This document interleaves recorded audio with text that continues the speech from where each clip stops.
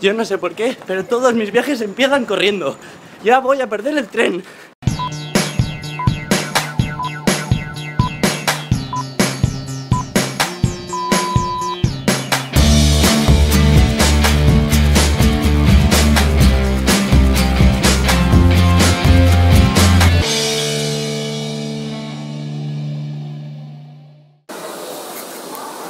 Al final he llegado por los pelos.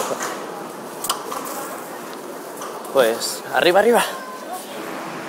Buenas, pues ya estoy aquí en Barcelona esperando a Miquel porque ahora nos vamos a ir al, Teatro Coliseum a grabar a, uno de nuestros nuevos artistas. A artista que, no conocéis o, quizás sí, porque seguro que muchos lo habéis visto ya en televisión. Bueno, ahora lo conoceréis y la razón por la que estoy grabando ahora es porque a partir de ahora vamos a hacer una especie como de diario de- del día de grabación para que veáis cómo va la parte de atrás de Enfilo, por así decirlo. Así que cada grabación intentaremos hacer pues eso, una especie de diario resumen de cómo ha ido el día, de cómo ha ido la grabación. Así que bueno, nos vemos hasta dentro de un momentito en el teatro.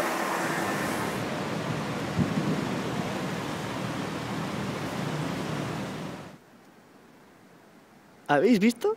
Tenemos todo el Teatro Coliseum para nosotros.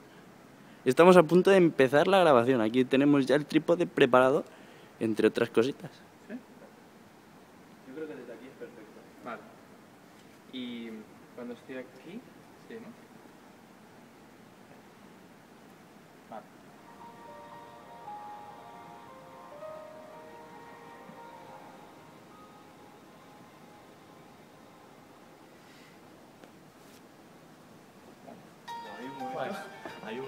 que no sé si has aparecido, has hecho aparecer una voz, has aparecido y ha habido un reflejo que parecía un efecto. Ah, qué guay. Tienes que verlo.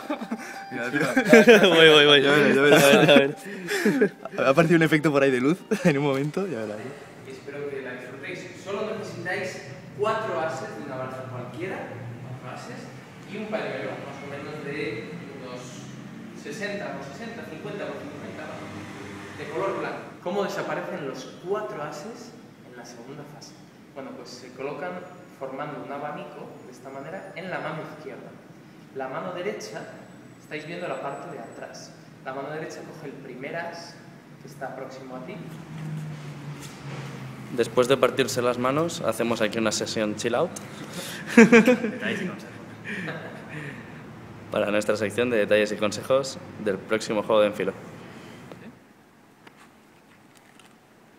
Amigos de Enfilo, acabamos de terminar la grabación de una pieza de manipulación. Espero que la disfrutéis y recordad, estoy hasta el día 22 de julio en este espectacular Teatre Coliseum. Os espero, solo hasta el domingo.